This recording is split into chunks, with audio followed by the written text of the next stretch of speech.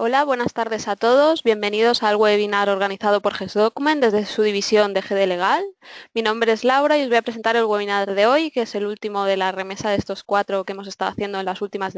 semanas y está dedicado a las claves para el cierre del impuesto de sociedades 2015.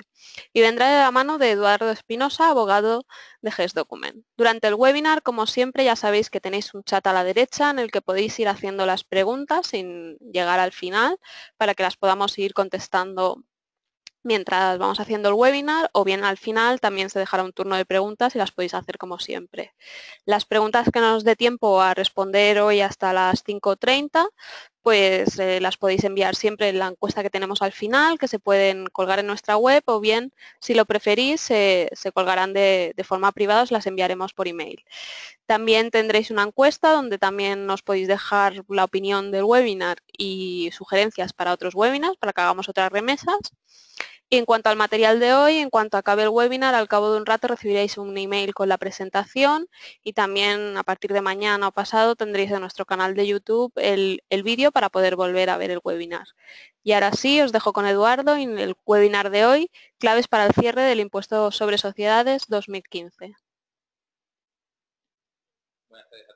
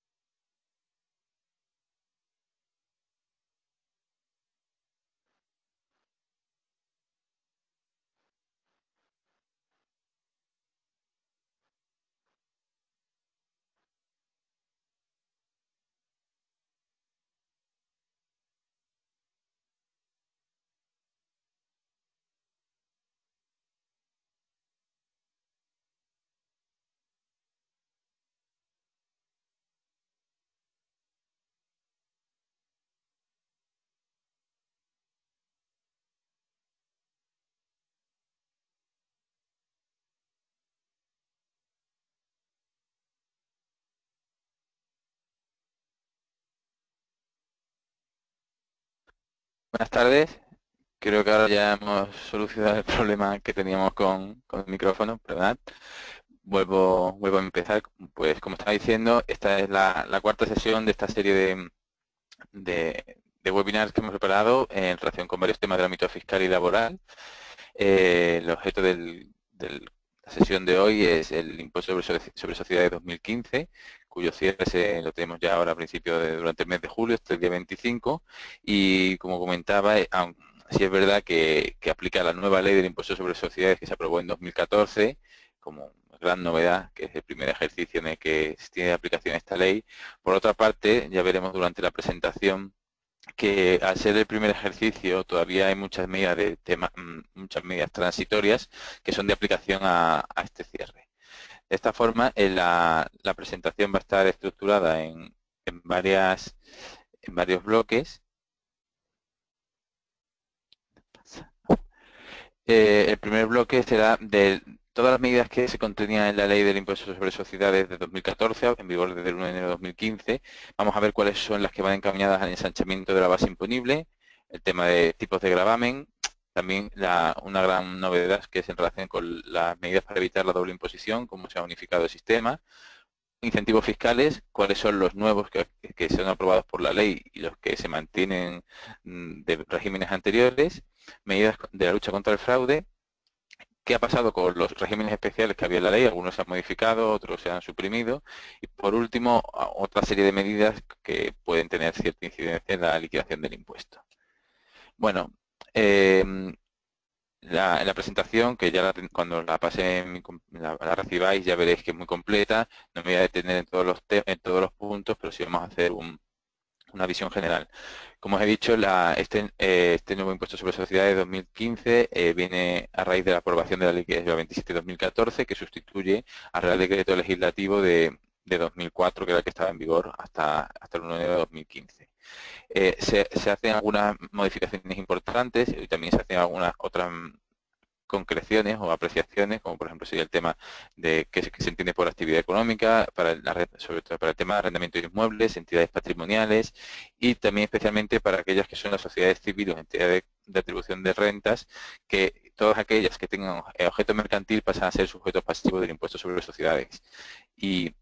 a partir de 2015, 2016 ya sería sujetos pasivos del impuesto y tendría que presentar su declaración.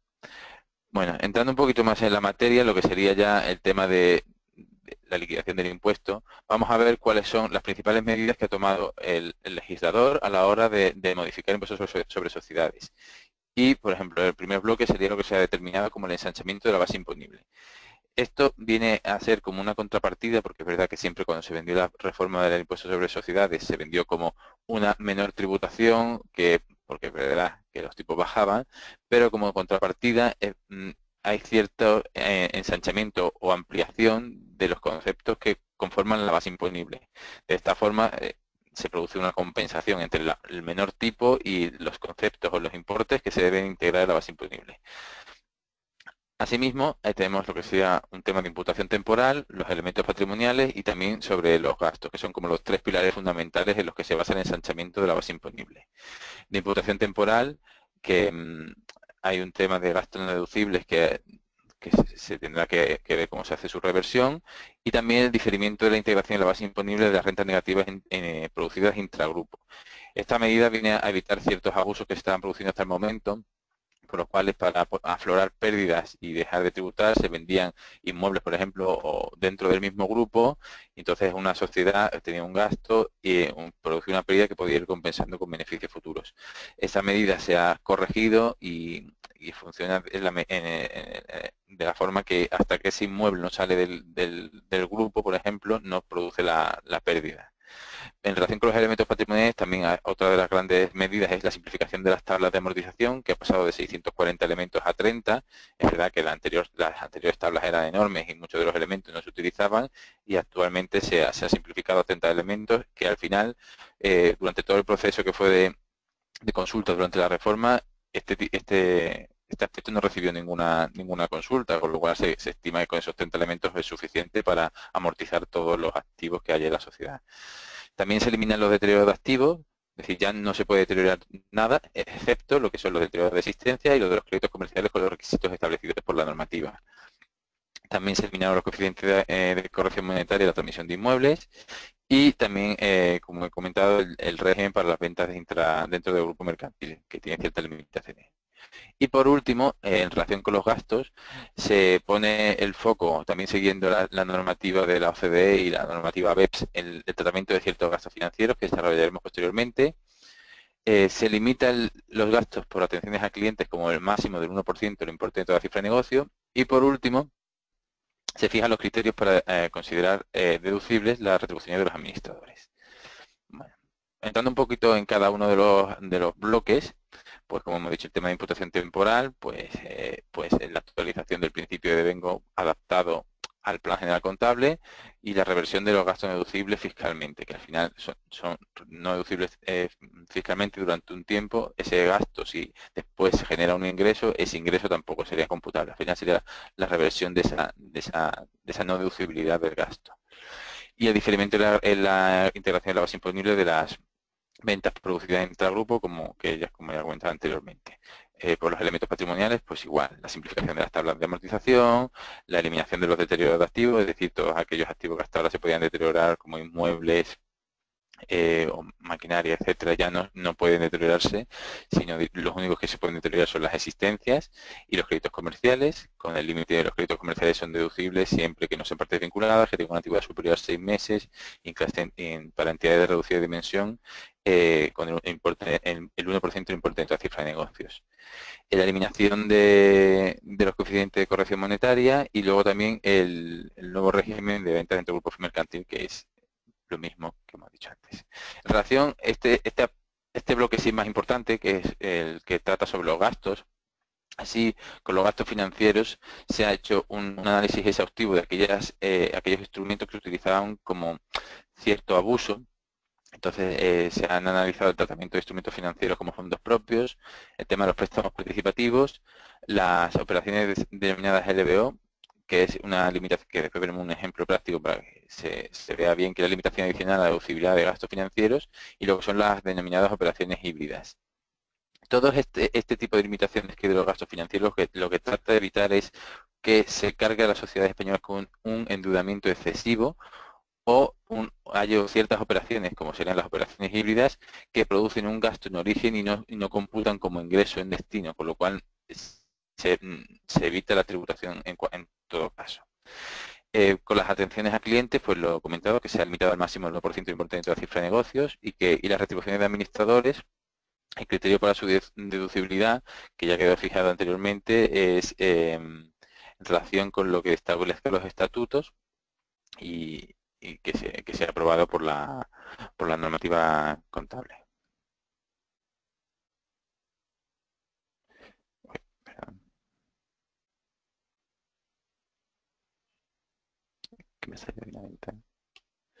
En relación con la compensación de las bases imponibles, eh, hay dos grandes novedades. Una que es que no hay ningún tipo de... se elimina la limitación temporal para, la, para su compensación, que hasta el ejercicio 2015 eran 18 años,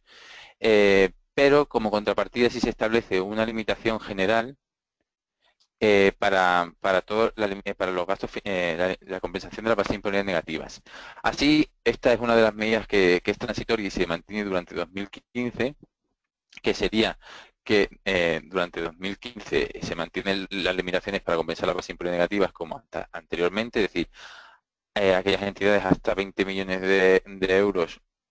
no tienen limitación, entre 20 y 60 millones de euros el 50% de la base imponible previa y a partir de 60 millones de euros el 25% de la base imponible previa. Pero a partir del ejercicio 2016 se establece una limitación con carácter general. Si es verdad que la ley aprueba un límite cuantitativo del 70% de la base imponible previa, para el ejercicio 2016 es del 60%. Y por otra parte, se, establece como un forfait, un, importe mínimo que siempre podrá aplicarse, que es de un millón de euros. Asimismo, dado que las bases imponibles negativas ya no tienen límite temporal de compensación, se amplía el periodo que pueden ser comprobadas por la Administración Tributaria. Hasta ahora aplicaba el mismo periodo general de prescripción, que eran cuatro años. Sin embargo, tanto para las bases imponibles negativas como para las deducciones, como veremos posteriormente, ese periodo de, comprobación se ha ampliado a 10 años. E incluso la norma establece que qué ocurre una vez transcurrido ese periodo de comprobación de 10 años, que también pueden seguir, se pueden comprobar las bases imponibles negativas de ejercicios más allá de los 10 años, pero ya una comprobación más limitada que, sería la acreditación posterior que, hemos denominado aquí, que es cómo se probaría esa base imponible negativa una vez transcurridos los 10 años de comprobación que tiene la Administración, pues aportando la autoliquidación del ejercicio en el que se generó esa base imponible negativa y las cuentas anuales depositadas también de ese ejercicio.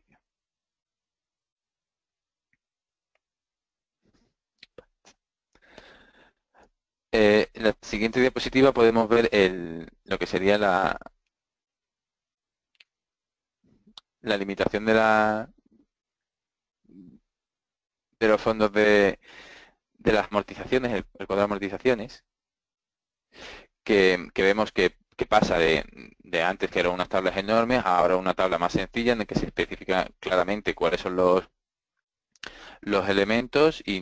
y, al final son los elementos que siempre se han, utilizado. Se establecen ciertos métodos de amortización que son los mismos que existían hasta antes, coeficiente lineal, el, pendiente, el, número de dígitos. También puede aprobarse el plan de amortización especial con la administración o bien que justifique el, que justifique el contribuyente. Luego la libertad de amortización, que sigue existiendo eh, para determinados tipos de sociedades o, o, sociedades que hagan determinadas actividades, como por ejemplo la de y, luego se establece también un régimen transitorio para aquellos elementos en los cuales no, encajan en, ninguno de los nuevos, pues que puedan encajar o, establecer un tipo, distinto. Bueno, entrando en el bloque, uno de los más importantes sería eh, aquel que hemos de la limitación de los gastos financieros o el foco que se ha puesto sobre los gastos financieros. Así tenemos el, tratamiento de los gastos financieros como fondos propios, lo que son los, los préstamos participativos y las operaciones de LBO, que la limitación adicional a la deducibilidad de gastos financieros. el tratamiento de, los instrumentos financieros y de los préstamos participativos va muy de la mano porque lo que se quiere evitar es que a través de este tipo de, de vía se, uno, se retribuya ciertos rendimientos eh, como si fuesen intereses del capital cuando en realidad al ser participaciones de la sociedad debería tratarse como si fuese una participación en, fondos propios o unos dividendos, rendimientos obtenidos. Y por otro también el tema de los préstamos participativos que eh, que es una financiación al final vía aportaciones de, a fondos propios, porque el préstamo participativo que lo hace uno de los miembros de la, uno de los socios de la sociedad, eh, se ve que, no sea recuperable a largo plazo y al final lo que se pretende es que ese, tipo de aportaciones compute como, fondos propios. ¿Qué, contrapartida tiene esto? Pues que la deducibilidad de los gastos derivados de, este tipo de préstamos no serán deducibles fiscalmente. Es decir, los intereses de un préstamo participativo no serían deducibles. Y por último, el, bloque de las operaciones LBO son aquellas en las cuales, esto lo podemos ver más, fácilmente en, el siguiente, la siguiente diapositiva, en la que se ve cuál es el ejemplo de situación con la que está luchando la, agencia tributaria o la, normativa con esta medida. Este era el caso en el cual una sociedad extranjera adquiría una nueva una sociedad española y, a, esa adquisición de la sociedad española adquiría mucha deuda. Esa deuda después se la aportaba a la sociedad española y el objetivo de la constitución de esa sociedad española no era otro que adquirir una sociedad operativa realmente de negocio en España, que en este caso estamos en el paso 2, sería la sociedad XSA. Finalmente, cuando la sociedad primera, Newco, eh, que ya tiene toda la deuda, eh, compra la sociedad XSA, mm, podrían formar o bien un grupo de consolidación fiscal o acabar haciendo una fusión. Con lo cual, si llegamos al paso 4, la sociedad que era operativa, que tenía un negocio en funcionamiento, que no tenía ninguna deuda, está asumiendo la deuda de su propia adquisición. Y al final hemos llegado bien por consolidación fiscal o bien por fusión a, la, a que la, sociedad operativa soporte ese, gasto. Y con esto, ¿qué es lo que se quiere evitar? Pues que este tipo de, deudas, como eso estaba explicado en la diapositiva anterior, no, no, puedan, no pueden incorporarse a la, no puedan ser soportadas por la sociedad adquirida o la sociedad que era operativa. Solo se establece una excepción, que es cuando la deuda alcance un máximo del 70% del precio de adquisición y se reduzca proporcionalmente durante el plazo de, 8 años, hasta que alcance el nivel del 30%. Este caso sería en el que podría aplicar, no aplicaría esta norma. Bueno, el tema de la base impositiva negativas ya lo hemos visto antes, lo hemos comentado por encima. Aquí tenemos un poco más de detalle de cómo funcionaría, por lo que hemos dicho con clase general a partir de del 1 de enero de 2015, lo que establece la norma es que esté limitado al 70% de la base imponible previa. Sin embargo, tenemos dos, dos, regímenes transitorios, uno para 2015, que era de 20 a 60 millones del 50%, más de 60 millones del 25%, y, en 2016 el 60% de la base imponible previa, siempre con el forfait de, un, millón de, un millón de euros. Eh, ya se ha establecido también en la norma que no computan para este límite las rentas correspondientes a la quita o espera de sociedades que estén en situación de concurso de acreedores, eh, que además antes también solo era para sociedades de acreedores no vinculados, ahora también se, puede considerar para entidades del grupo. Y luego eh, también está la, normativa como de cierre, que sería cuando no podrán ser compensadas las BINs y, es para el caso en el que una sociedad quiera otra con BINs previas que no hayan sido satisfechas. Eh, hasta, este, hasta la aprobación de esta norma decía que no hubiese tenido ninguna actividad durante los últimos seis meses, ahora ya se ha, se ha reducido a los últimos tres meses y que también realiza actividades en ejercicios posteriores, eh, que sea una actividad patrimonial o que, que esté dado de baja en entidades porque no tenga actividades de varios ejercicios. Em, el siguiente bloque que vamos a ver es el tema de tipos de gravamen, que como hemos dicho es una de las grandes medidas anunciadas a bombo platillo por la reforma fiscal, por el cual se reducía el tipo de gravamen que teníamos hasta 2014 del 30% al que establece la norma del 25. Lo que pasa es que no es una bajada de, una única vez, sino que se ha hecho una, aplicación gradual de la reducción. Así en el ejercicio 2015, que es el que vamos a liquidar ahora, tenemos un tipo del 28, y en el 2016 del 25. Y lo mismo ha sucedido con el tipo de retención eh, con carácter general que aplica entre sociedades, que era del 20 en 2015, bueno, hasta el 12 de julio que se aprobó la medida de anticipación de la, reducción, que pasó a ser 19,5 y en 2016 que ya es del 19. Eh, luego también está eh, el tipo reducido para entidades de nueva creación con actividad económica, que es del 15% durante los dos primeros ejercicios de los que, mm, en los que obtengan beneficio. Y luego aquí otros tipos para otro tipo de entidades que, son más, más residuales. otro aspecto que también tiene incidencia, lo que pasa es que ya todos los pagos fraccionados de 2015 pasaron y, eh, era que durante los pagos fraccionados eh, también se mantenía el régimen transitorio anterior al 1 de enero de 2015. A partir de 2016, ya durante los pagos fraccionados, ya los que aquellos que van por el método de base corrida aplica el tipo de 17 y aquellos que van por, el, método de cuota aplican el tipo de 18 sobre la cuota del último impuesto presentado. Esta serie de medidas que también aplicaban durante 2015.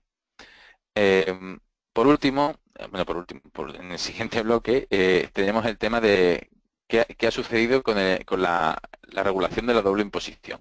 que se ha unificado el sistema. Hasta, hasta el momento, hasta la entrada en vigor de la ley 27-2014, eh, había dos regímenes, uno de una parte de exención y otra parte de deducción de doble imposición. Además, también se, se, limitaba, había diferencias entre los que eran nacionales, porque la deducción de doble imposición eh, aplicaba eh, aquellas participaciones que se denominaban no significativas, o sea, había una reducción parcial de 50% cuando la participación era inferior al 5% y de 100% cuando era superior a ese importe. Pero no aplicaba para los no residentes. Entonces ha habido varias decisiones de la Comisión Europea por las cuales se, se establece que había discriminación y se ha decidido acabar con ese sistema. Así que el sistema que aplica con carácter general ahora para eliminar la doble imposición es el de extensión. Em, se mantiene también la deducción para determinados casos y, la regulación se encuentra en cuatro artículos, que sería el 21, el 22, el 31 y el 32. El 21 y el 22 son los de exención, uno por dividendos y rentas derivadas de la transmisión de valor representativo de fondos propios de entidades residentes o no residentes, el 22 para, para las rentas obtenidas a través de establecimientos permanentes y luego el 31 y el 32 que serían para evitar la doble imposición cuando sean otro tipo de rentas las que se, obtengan. Eh, lo que sí se elimina a partir, como ya he comentado, a partir del 1 de enero de 2015 no es aplicable, es la deducción parcial que había para aquellas participaciones inferiores al 5%, que otorgaban una deducción del 50% del, impuesto soportado, con lo cual sí se produce cierta eh, doble imposición, aunque se ha considerado que son participaciones no significativas. Pero bueno. Eh, analizando cada uno de los, bloques que componen el sistema para evitar la doble imposición, el primero de ellos sería la exención sobre los dividendos y plusvalías de la emisión de participaciones en entidades no residentes del artículo 21, que más o menos viene a, reiterar los requisitos que existían anteriormente, pero cierta modificación. Bueno, se exige la participación mínima de 5%, que antes no se exigía, antes podía ser mayor o inferior al 5%, lo único con la limitación de la aplicación de la deducción y también aplica siempre que el, valor de adquisición de esas participaciones sea superior a 20 millones de euros. Aquí lo que hay que tener ahora mucho cuidado, y así lo ha establecido el legislador, es que para esa participación mínima de 5% hay que hacer, sobre todo en el caso de grupos de entidades en, el cual los dividendos proceden de varias sociedades. Hay que analizar toda la cadena de participación y en cualquier caso la participación directa o indirecta tendría que, que ser al menos del 5% para poder gozar de o poder aplicar esta exención muchas veces pasa que, claro, a lo mejor de la, entidad directamente participada si tienes el 100 o el 50%, pero esa a su vez participa en otro que participa en un 25, ya será, sería el 12 y medio y así se va diluyendo la participación. Entonces, si el origen de, o una parte del origen de los beneficios que se están repartiendo proceden de una entidad en la cual no tenemos una participación indirecta al final de, de al menos el 5%, esa parte no daría derecho a aplicar la exención. Luego el requisito de mantenimiento, que es durante un año, que, sean entidades que sean mm, no, no residentes o que en un, o que donde el territorio donde sean residentes haya un impuesto de naturaleza idéntica o análoga al impuesto sobre sociedades con un tipo nominal mínimo del 10% o que haya un convenio de doble imposición con intercambio de, información. Eh, se elimina la, aplicación de la exención para las entidades que, son pasivas, son aquellas patrimoniales que no tienen ningún tipo de actividad y, las transmisiones de participaciones, pues lo mismo, también las ganancias quedarán exentas. Eh, a su vez, se ha aprovechado esta reforma para hacer nuevos eh, eh, el concepto de reparto de dividendos, porque la, agencia tributaria también había advertido que había ciertos supuestos de fraude en los cuales se hacían repartos de dividendos encubiertos mediante otras figuras mercantiles como serían reducciones de capital o reparto de la prima de emisión. De esta forma, se, establece que en el caso de que una sociedad que tenga fondos o reservas suficientes para repartir un dividendo y lo que haga sea una reducción de capital o un reparto de la prima de emisión, eh, se entenderá que ese reparto, aunque mercantilmente siga considerado, sea considerado reparto de la prima de emisión o reducción de capital, finalmente eh, tendrá, eh, o sea, fiscalmente tendrá la consideración de, reparto de dividendos. Y a futuro, si se reparten dividendos, pues si se ha cubierto ya la totalidad de las reservas que, eran susceptibles o los beneficios susceptibles de repartir, pues ya no, no, habrá doble, doble tributación. Luego, lo que hemos comentado también anteriormente, la atribución correspondiente a los préstamos participativos eh, no, generará un gasto fiscalmente deducible en la, la pagadora y no se aplicará tampoco la, extensión del reparto de dividendos, que al final eh, en, la otra, en la otra entidad eh, no acaban registrando un gasto o se produzca una menor tributación. Em, el, siguiente bloque que, tenemos sería el que hablaría de la exención por las rentas obtenidas en extranjero a través de un establecimiento permanente y, y sería el que el que aplicaría para los rendimientos que se obtienen por un, establecimiento extranjero que mm, al igual que tiene que haber estado sujeto a un impuesto idéntico análogo al, al, IRPF, se, eh, al, impuesto sobre, impuesto sobre sociedades eh, no se integrarían el, pero no se integran a su vez las la, las rentas negativas, salvo que procedan de una transmisión o cese. En este caso, cuando se, obtengan rentas negativas por, un establecimiento permanente, esas rentas deberán ser eliminadas eh, y si posteriormente se obtienen rentas positivas, cubrirían esas rentas negativas y una vez cubiertas ya podrían considerarse exentas. Y, y el concepto de establecimiento permanente también se establece, se desarrolla con, carácter más detallado en el propio artículo 20, apartado 3, en el que se analizan ciertas figuras que hasta el momento eran dudosas, como ciertos agentes de representación o sobre todo de ese tipo de representantes que tienen poderes para vincular a, las entidades.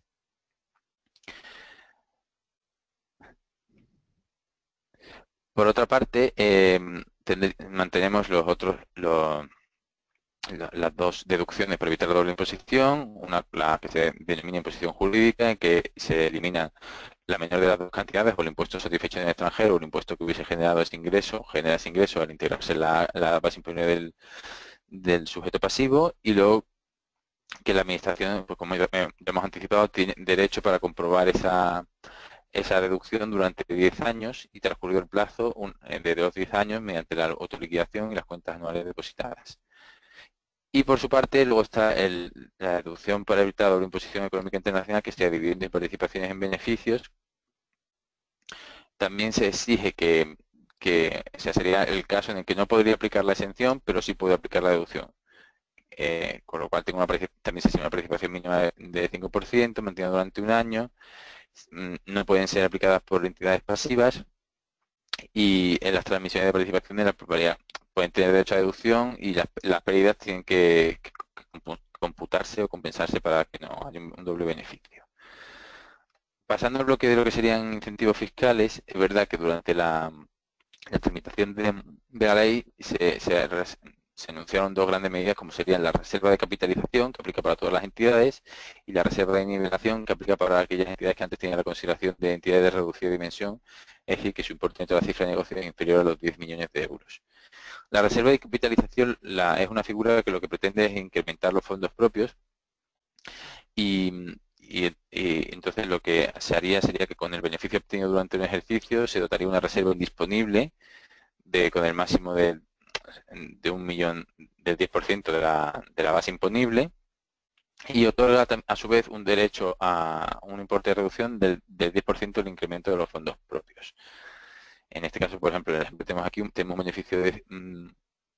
de 100, la dotación de reserva indisponible sería un millón,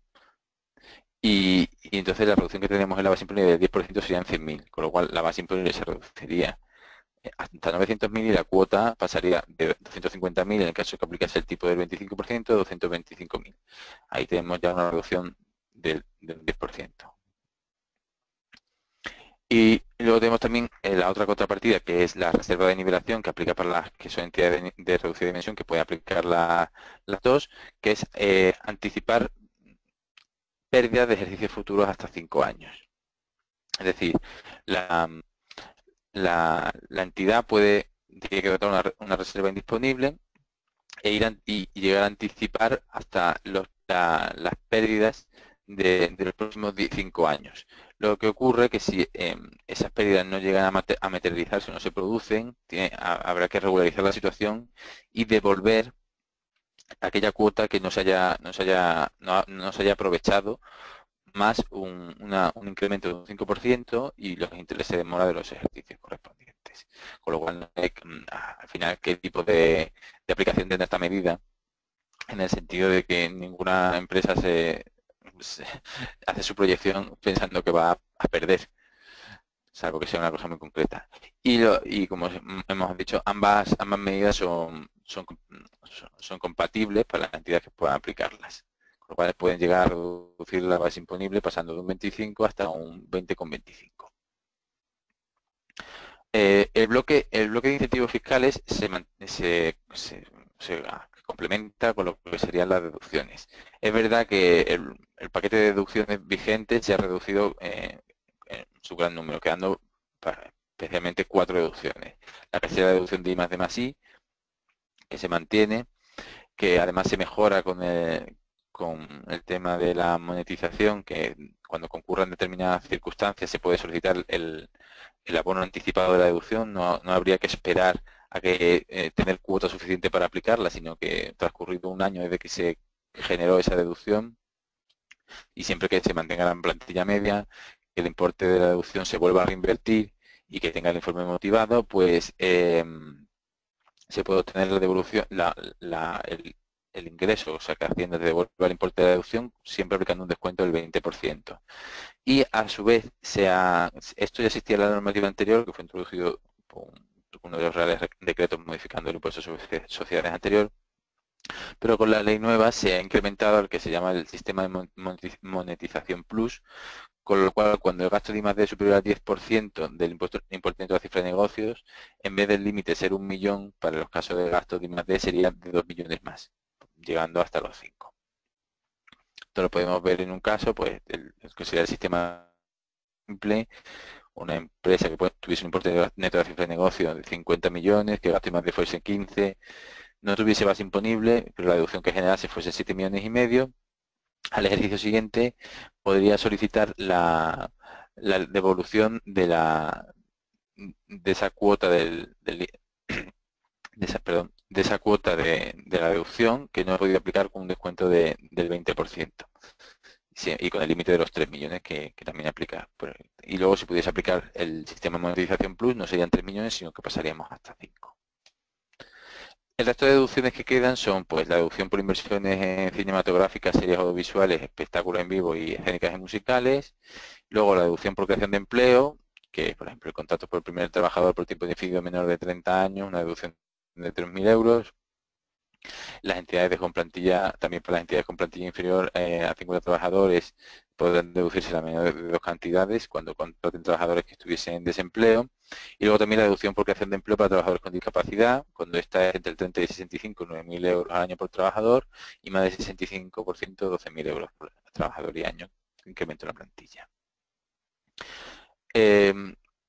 el, dentro de los incentivos fiscales también se mantiene el régimen de las denominadas entidades de reducida dimensión. Es verdad que antes era más vistoso. era más vistoso ser un arma, un arma de doble filo, porque es verdad que tenían un doble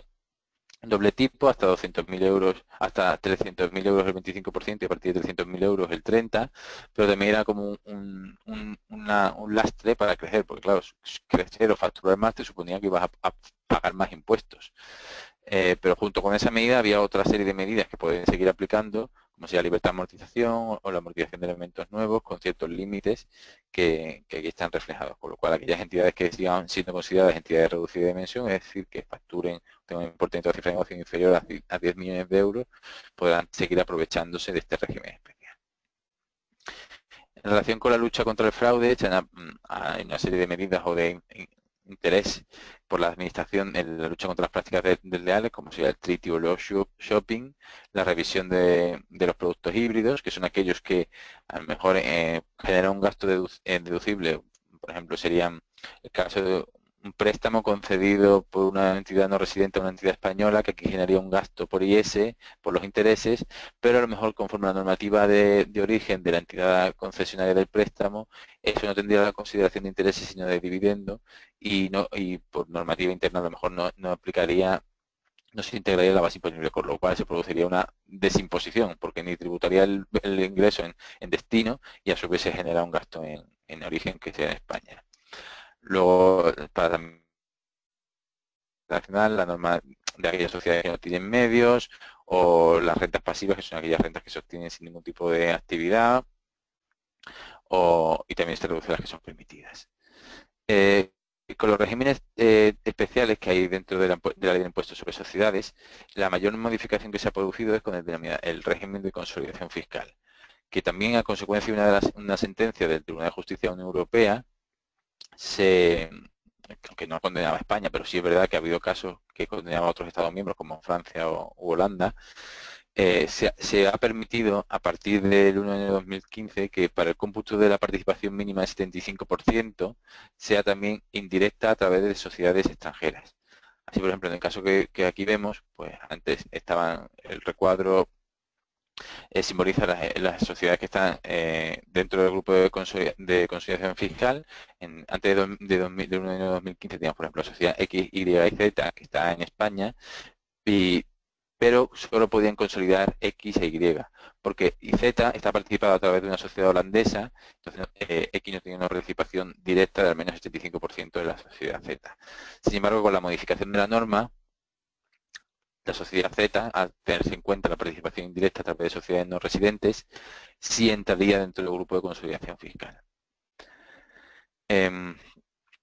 eh, esto, bueno, volviendo un poco a la, diapositiva anterior, esto también fue objeto de revisión porque puede ser que muchas sociedades a lo mejor que hasta el momento no estaban en consolidación porque eran todas hermanas de una sociedad extranjera, ahora sí puedan reunir los requisitos, o eh, sociedades que están aplicando el régimen de consolidación fiscal y como bien es sabido, para formar parte del régimen no es una opción eh, elegir las sociedades que pueden formar, integrarse o no, sino que aquellas que cumplan los requisitos obligatoriamente tienen que pasar a formar parte del, grupo de consolidación fiscal. Y entonces, pues a raíz de, esta, de, de empezar a computar la participación extranjera, se han producido modificaciones en los grupos. Eh, el otro régimen que también se modifica parcialmente es el régimen de fusiones, decisiones y aportaciones de activos, que hasta ahora era un régimen especial, o sea, había que ejercitar la opción por su aplicación, pero se ejercitaba en el 99,9% de los casos de este tipo de operaciones, con lo cual ha pasado a ser el régimen general. Y lo que, y aunque se tiene que seguir haciendo su la comunicación a la agencia tributaria que se está aplicando, en esa misma comunicación se, habría que, comunicar que se renuncia a su aplicación. En caso de que no se, realice esa comunicación, se, ha impuesto un régimen sancionador que serían 10.000 euros por cada operación no, no informada. Y por último, el último bloque que establece otra serie de, medidas sería pues también que a partir de 1 de enero se mantenían como eh, limitado ciertos, ciertas amortizaciones como para el fondo de comercio, el inmovilizado de intangible de vida útil. Luego también se, produce la reversión a partir del 1 de enero de 2015 de medidas temporales como fue la limitación de deducibilidad de la amortización durante los ejercicios 2014 y 2013, la actualización de balance que también se produjo en 2013 y, entonces eh, a estos efectos se ha aprobado una deducción adicional para evitar el efecto financiero que se produce porque el activo por impuesto diferido que tenían reconocido esas sociedades estaba reconocido al 30% y ahora al, producirse, la reversión el tipo efectivo es del 28 en 2015 y del 25 a partir de 2016, con lo cual para, para evitar se, se aplica una deducción del 5 o del 2%. Y por último el tema de la deducción por donativos que, aunque se mantienen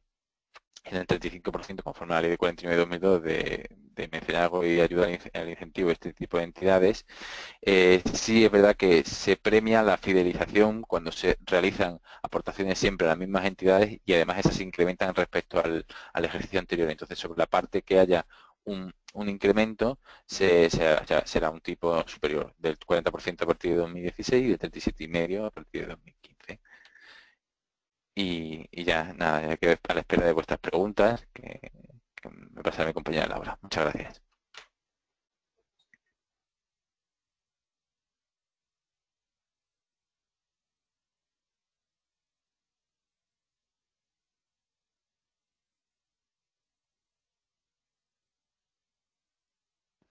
Bueno, la deducción por, por creación de empleo, al final lo que, lo que viene a,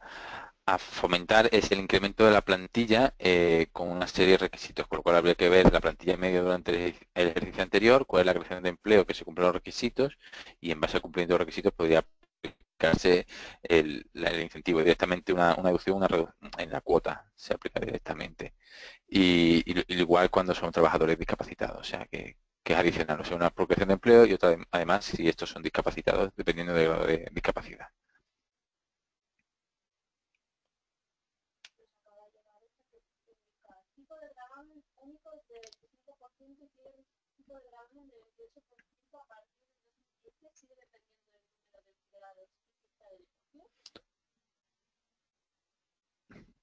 No, bueno, es verdad que en, en 2015 todavía se mantiene el,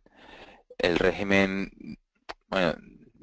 hay un régimen, el tipo general a partir del, 1 de enero de 2015 es el, el 28%, pero para aquellas entidades que la entidad de reducida dimensión tendrán hasta el, hasta el 300.000 euros el 25 y a partir de 300.000 euros el 28.